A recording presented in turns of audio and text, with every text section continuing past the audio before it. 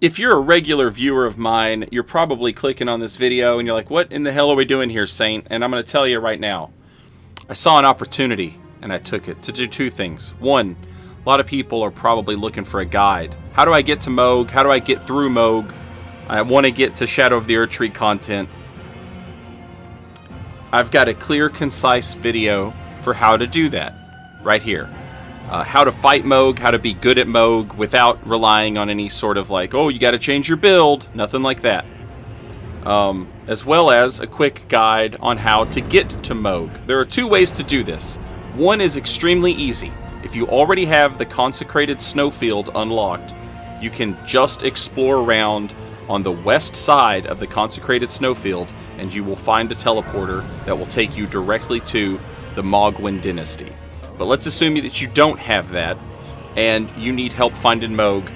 As soon as you start the game, this guy, White Mask Vare, is hanging out right outside the Stranded Graveyard. You can't miss him.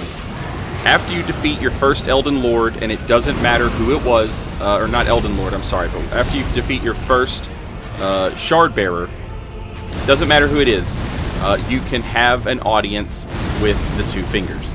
So most people, I think, would probably do Godric first.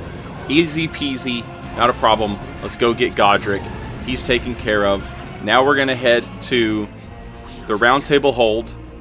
We're going to talk to the two fingers. We're going to get the gesture. If you already have this gesture in your inventory and you're doing a little checklist to see like, oh, what have I messed up? Uh, because is not where he's supposed to be. It means you, if you already have that erapture, uh, rapture gesture, it means that you've already done this part. So Vare has probably already moved. He is uh, he's going to move to Liurnia. But before we head to Liurnia, we are going to head to the Murkwater Cave to get invaded, uh, and then Yura is going to help us. And then right in that area, we're going to talk to Yura. We're going to get his quest started. This is going to come in handy later. We're going to head to the Rose Church in Liurnia. This is where it's located at. You can see, uh, you know, where to go. This is where Vare is hanging out at. If you talk to him, he's going to give you three bloody fingers to invade with. Doesn't matter the outcome of these invasions. Uh, just do three invasions. He gives you five fingers. You need three invasions. Uh, we're going to talk to Yura again in Liurnia. This is at the Academy Gate. Um, it's you, are going to have to get the key to access this. Um, now, if you're past this point, if you have already been to the mountaintops of the Giants, you don't have to do this Yura stuff. But if you haven't been to the mountaintops of the Giants, you need to do the Yura stuff. Just go ahead and get it out of the way. Once we've done three invasions uh, for Vare, or we can head to the Writhe-Blood Ruins and find a, a, red summon sign there, and we can invade a, uh, some guy. Uh, you can do that instead if you don't want to do three invasions. But I'm an invader, so do the three invasions. Um, once we've done that, uh, White Mask Vare is going to give us a white cloth, and he wants us to soak it in the blood of a maiden. This is where I always take it. There are other options, but I go to the Church of Inhibition. Uh, I go this way because it allows me to grab some upgrades for my flask, which I'm going to want anyway. We talk to this dead body. That gives us the Lord of Blood's favor. Um, the other place you can go is over here, uh, the Sisters Belfry, or is what it's this one right here. Um, there's three portals that you can take. You need like a Mystic Magic key. There's one there. And then go to that portal. It will take you to the very start of the game and the Finger Maiden at the door at the very start of the game. You can also use her blood for this. Um, we head back to Vare. Vare is going to give us the Bloody Finger so that now we can invade uh, as many times as we want. Keep talking to him. This dialogue will end, but we're not done yet. We let this dialogue finish. We talk to him again. Now he gives us this Knight's Talisman. Pure Blood Knight's Medal. And this is an item that will go into our inventory that we can use uh, that will transport us directly to Mohgwyn Dynasty. Um, the, it will put you right at the front door, basically. You'll be standing looking directly at the map fragment for the, the dynasty. If you take the consecrated snowfield, you're on the other side of the Mohgwyn Dynasty area, and you're going to have to walk through all of it. It's very short, it's no big deal, very easy to find. Uh, but if you take this, there's no missing it. Um, the next thing we're going to want to do is finish off Yura's quest. If we haven't done all of it, like I've been showing you how to do it, when to do it, um, then he won't necessarily be here until we do some stuff for him. So that's why I was saying let's just go ahead, let's just get it out of the way. Uh, now, if you if your character has already been to the mountaintops of the giants, you won't need to do this step. I don't think you should be able to just come here, and you should be able to fight Eleonora uh, at this Second Church of Marika. It's directly north of the Altus Highway. Um, you can just from the Altus Highway junction, you can just go north. You're going to drop off a little cliff. Uh, you're going to fight Eleonora, Eleonora, and once you defeat Eleonora, she is going to give us um, uh, a wondrous physic tear.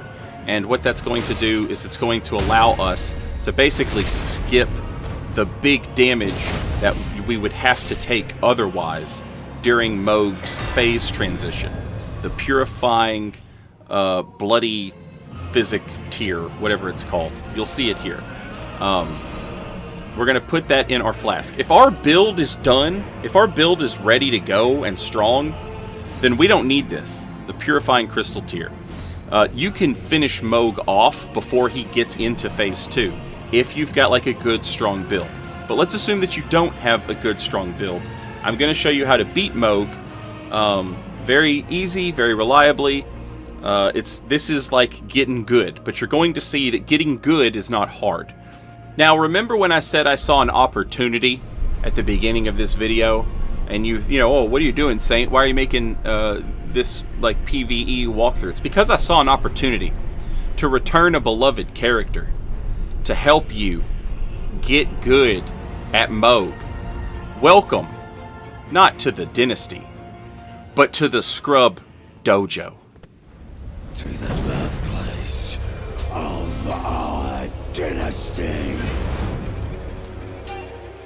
Oh, hell, son, look who comes crawling back for more on your hands and on your knees with your eyes wide and your tongue sticking out of your mouth on your hands and knees looking up at me, wagging your little tail, drooling, saying, Please, Scrub Daddy, John Sekiro, show me how it's done.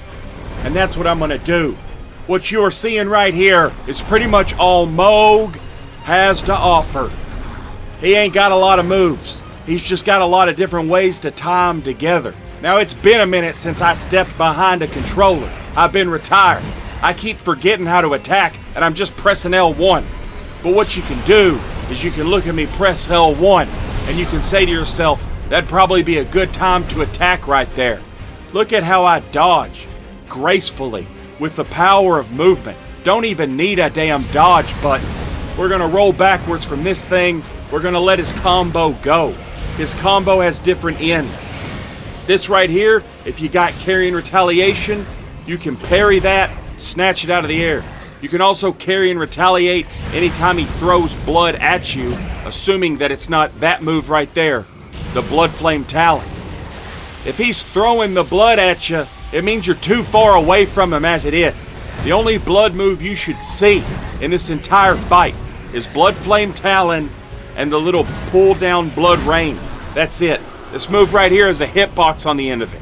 That's why I blocked it. But you shouldn't be blocking it. You should be positioning yourself in a way to hit it.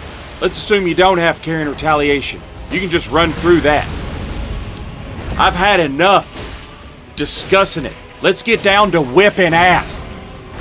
I'm gonna punish everything that he does after he drives that pitchfork into the ground. And when he does the blood flame talon, I'm just gonna run around it, whip his ass, and when he throws the trident, he's gonna miss me because I'm too close. And then I'm gonna whip his ass. And then I'm gonna knock him down on his ass, and I'm gonna whip his ass some more. I'm gonna stomp a mud hole in him, and then I'm gonna walk it dry. Because that's how I do things. That's how I get them done. Carian retaliate this. I want you to know that this character right here has not leveled up. I am using a plus three weapon, a plus three longsword. There is no way this should be harder for you than it is for me right now. This is mechanical, all right? That's what this is. This is a goddamn blueprint on how to whip ass. And you're looking at it. It's super easy. He's got one physical combo he can mix and match to fit in how he wants it. He's got Blood Flame Talon. He can follow that up with a charge. He can follow it up with the Blood Rain. That's it. That's all he's got. This is all it takes. Now we're just whipping his ass. When you get his health about here, notice how I've got those two rings on me? He's going to start counting in Latin. When he gets down to anus, that's when it's time bottoms up. We're going to have a little sip. We're to drink a little Steve Weiser, a little Sekiro Saki Weiser. All right? Just like this.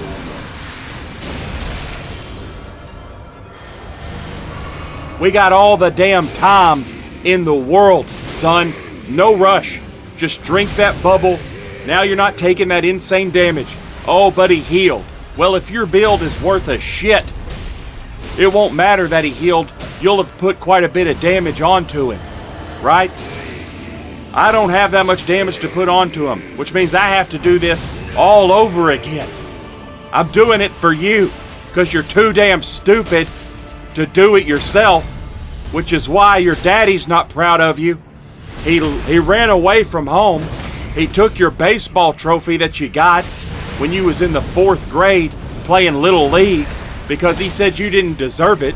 Most improved player, most improved player, my ass, and your daddy's ass, which is why he took that trophy and pawned it when he dropped your dumb ass and he dropped your dumbass mom and he went out to find himself a real child that would make him proud. Well, here's your chance to make your daddy proud and beat Mohg all by yourself. Keep in mind, you can have the goddamn mimic tear or whatever the hell you want. You can frostbite Mohg. What? You can bleed Mohg. What? You can poison Mohg. What? You can scarlet rot Mohg. What? There's no end of status effects that you can apply to this dumb bastard. Do it however you want to do it. Just make sure when he sticks his trident in the ground in phase two, you appreciate that that trident is going to explode and whip your ass. As you can see, we are not backing away from him. We're staying up close. This is where we want to be. This is where he's least dangerous. He's throwing blood flame on the floor. It's going to do a little damage. It's not a big deal. You should have at least 40 vigor when you're doing this, right? However, when he's throwing the blood flame around off the trident with his attacks like that right there and that right there, if it hits you, it's basically a real hit. So don't get hit by it. Ah, how do I not get hit, John Sekiro? How do I not get hit? By staying close to him like I've been saying, you dumb son of a bitch. Now, one thing I'll tell you that gets on my nerves about this fight and if I ever try and help people with this fight, something that gets on my nerves, it really pisses me off, is when people try and fight Mohg on the stairs. If you have any say in it at all, I urge you, do not fight his ass on stairs or steps. Let me tell you something about stairs and steps. Stairs and steps are where video game mechanics go to die. We don't fight on them. Do everything in your power to get him off the steps and away from the steps so that he don't go after him. I want you to notice that when he does that attack right there, he reaches up into the sky. He does blood boon and he starts flying. We just walk forward. We just walk towards him. If you need to do a little roll, do a little roll, and then just walk towards him. That's a good time to heal, right there. It's free, and you don't have to stop attacking. You don't have to make time to heal. They give you time to heal. Why? Why? Because this is a baby's game for babies, and the fact that you're watching this video, liking, and subscribing is the same reason you're bringing shame on all your ancestors. Unlike me, John Sekiro, who's just burning off bad karma left and right. By teaching you, by passing it on. Oh, Saint, you're teaching us how to kill. I mean, not Saint. I mean, John Sekiro. You're teaching us how to kill. That can't be good for karma. Yeah, but I'm teaching you how to kill a sexual predator. It's fine, actually. Now, pay attention right here. I want you to notice how every attack that he has is the same as the attacks that he had in Phase 1, as long as we stay up on him. The only difference is, really, when he does Blood Flame Talon and he charges at you, it has a little hitch in its step now. So you gotta delay your roll by just a little bit. Not a big deal. Easy to delay. Listen, when you're going out there and you're trying this for the first time, if he still kills you, if he still kills you, that's fine. As long as it feels like you're actually making some progress here. Because this is how it's done. There's all kinds of other little tips and tricks, stuff that you can work into this fight to make it smoother, faster, etc. This right here is the most basic, bare bones, how to kill this dumb son of a bitch that there is to know. All of the extra damage that you're going to have, all the extra health that you're going to have, all the extra weapon upgrades, Ashes of War. If you've got it and you want to use some of those spirit summons, go ahead, bring them. It's just, you have to remember that if you're summoning those spirit summons, it's going to make it a little harder to predict what he's doing exactly. I know what he's doing because he can only focus on me. He can't focus on my mimic tear and then turn around and then focus on me. He can't focus on my phantom, then turn around and focus on me. I'm the only thing he can look at. I'm using that to my advantage. And that's it. And that's the bottom line. You know, as the lead character in the hit game Sekiro, Shadows Die Twice, I spend a lot of time in the afterworld, in between loading screens. And sometimes I'm up there with your ancestors and they're looking down and they see you struggling with Mohg and they just start crying. Your grandparents are in heaven and they're looking down on you and they're crying. Not no more. Because now you know how to whip Mohg's ass. And that's the bottom line, because John Sekiro said so. It's just that easy. It's just that easy, folks. He's got one combo. He can mix and match it, but it always ends the same. It's you can always tell when it's safe to attack after the combo. Dodge back from Blood Flame Talon, dodge into the charge. In phase 2, the charge has a little hitch. When he does Blood Boon and flies, roll if you need to, then just walk towards him and wait, and always be making your way back to face Mohg. Try and keep as little distance between him and you as you can, because that's where he's dangerous. But now you're all set, you're all ready to go. Hop into the shadow of the Erd Tree, easy peasy. And you've, uh, I, I think maybe you've also got to beat Radahn, but I, y'all, y'all got this. Just, you know, just beat Radahn. Okay? Alright. Thanks for watching. I'll see you next time. Until then, later, y'all.